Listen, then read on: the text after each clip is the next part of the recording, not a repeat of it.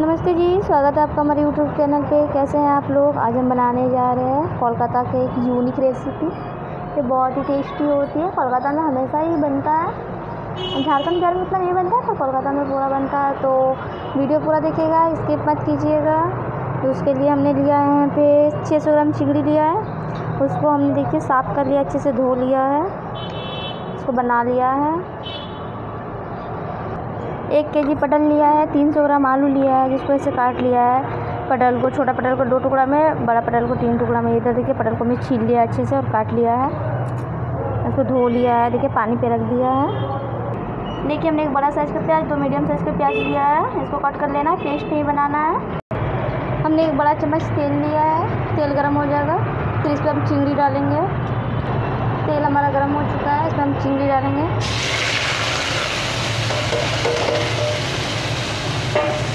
सारी चीनी डाल देंगे हम। इधर देखिए इसको पाँच मिनट तक हाई फ्लेम में पकाएँगे इसी तरह से। ये पकेगा, तब तक हम बीच में आप चलाते रहिएगा। एक मिनट बाद चलाइएगा, तब तक अपना प्याज को कट कर लेते हैं। ये देखिए हमारा चीनी हो चुका है, हम इसे निकाल लेंगे।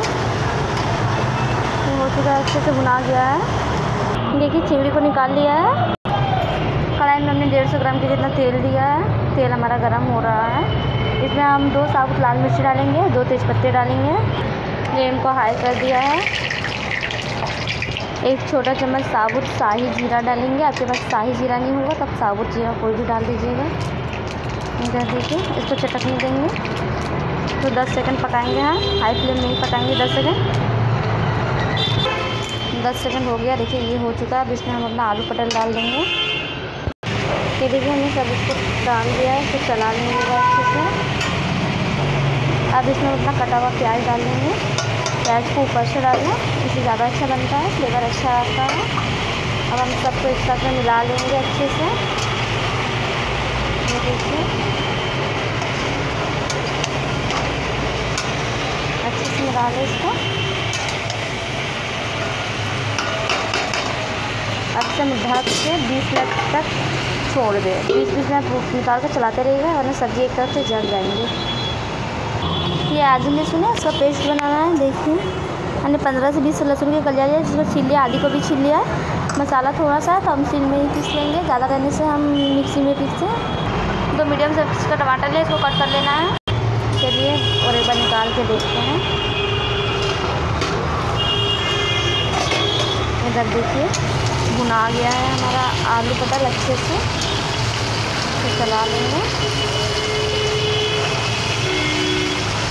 आप देख सकते हैं। इधर देखिए। अब इसमें अपना टमाटर डाल देंगे। टमाटर को ऐसे कट किया है, देखिए।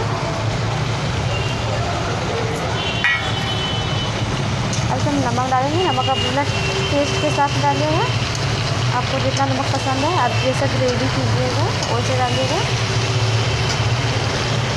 मेरा सब्ज़ी ज़्यादा है तो हमने डेढ़ बड़े चम्मच नमक डाला है।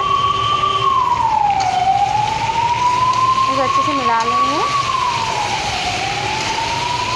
ये देखिए। अब इसमें हम कुछ मसाले ऐड करेंगे।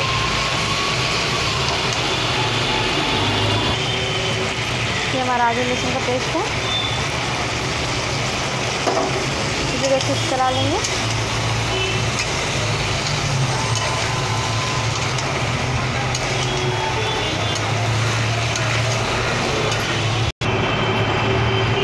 एक छोटा चम्मच जीरा पाउडर एक छोटा चम्मच लाल मिर्च पाउडर आपको तीखा ज़्यादा पसंद है तो ज़्यादा कर सकते हैं।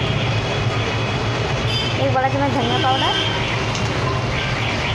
एक बड़ा चम्मच हल्दी पाउडर अब इसे हम मीडियम फ्लेम में पाँच मिनट पकाएँगे। से मिला लेंगे और। इधर देखिए पाँच मिनट हो चुका है। अब इसमें हम चिंगड़ी डाल देंगे। जो हमारा भून के रखे थे इसको भी पाँच मिनट पका लेंगे। बीच से चलाइएगा वरना मसाला जल जाएगा आपका। इधर देखिए।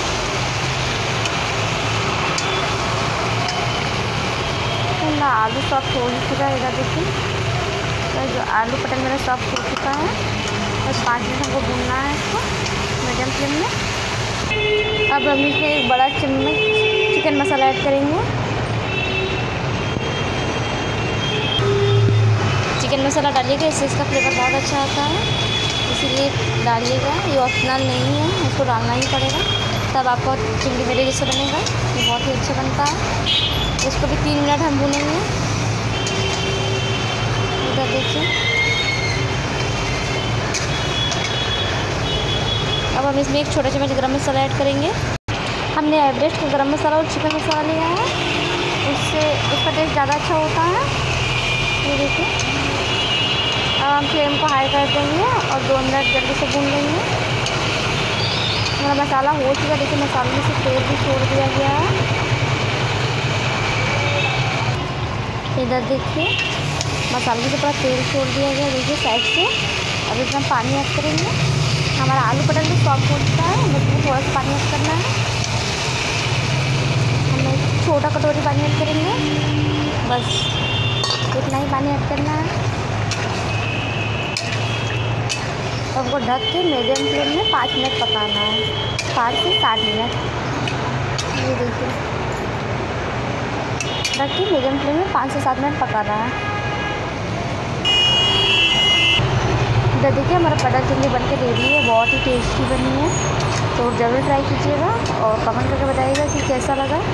वीडियो अच्छी लगी तो प्लीज़ लाइक शेयर कमेंट कीजिएगा। अभी तक आपने हमारे चैनल को सब्सक्राइब नहीं किया तो प्लीज़ सब्सक्राइब कर लीजिएगा। एक शेयर कर दीजिएगा। Thank you